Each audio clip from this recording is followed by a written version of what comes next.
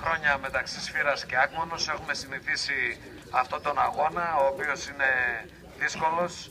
Ε, εδώ και 15 χρόνια βλέπετε ότι έχουν ε, πάλι κατά του λιμανιού, παρά το ότι πλέον ομόθυμα η πόλη έχει αποφασίσει ότι δεν πρέπει να ιδιωτικοποιηθεί σε καμία περίπτωση το λιμάνι, ότι το λιμάνι έχει σοβαρή σημαντική κερδοφορία, ότι έχει δυνατότητες να ε, κάνει επενδύσεις, έχει δυνατότητες δανεισμού.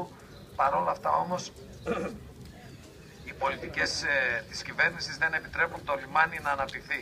Είχαμε μέχρι τώρα ε, την επίθεση από την πλευρά των ξένων και των δανειστών που επέβαλαν να πουληθεί το λιμάνι προκειμένου να διασφαλίσουν κάποια έσοδα έναντι των οφειλωμένων από τη χώρα μας.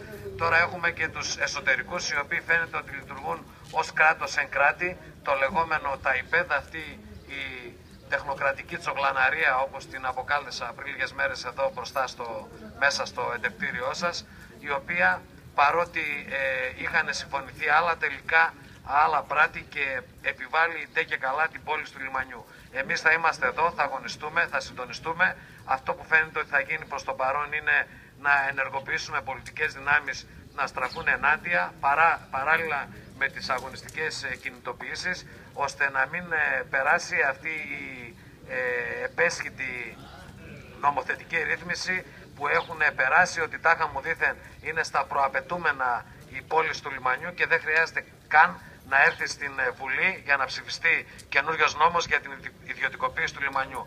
Έχετε γνώση από αγώνες, έχετε πάρα πολλά χρόνια στους αγώνες. Νομίζω ότι και αυτή τη φορά θα καταφέρουμε να νικήσουμε εάν είμαστε ενωμένοι και αν με δύναμη υπερασπιστούμε τα συμφέροντά μας. Καλή δύναμη και καλούς αγώνες.